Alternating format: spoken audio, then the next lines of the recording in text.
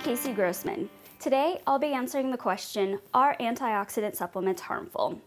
What are antioxidants? Antioxidants neutralize free radicals, which are formed naturally in the body or can be caused by pollution or alcohol consumption. Antioxidants are found in whole fruits and vegetables. They can also be found in larger amounts than fruits and vegetables in supplements. People with high intake of fruit and vegetables in their diets have been found by multiple studies to have lower risks of certain diseases. Studies have shown that people with a high intake of fruit and vegetables are at a decreased risk for certain diseases. However, studies on the supplementation with antioxidants have not found that there's a decreased risk for certain diseases.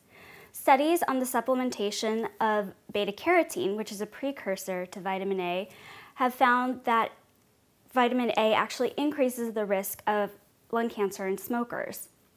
Studies on the effect of vitamin E supplementation have also found a potential increased risk for cancer. Supplementation with antioxidants can also interfere with certain medications, so it's best probably to get your antioxidants from fruits and vegetables.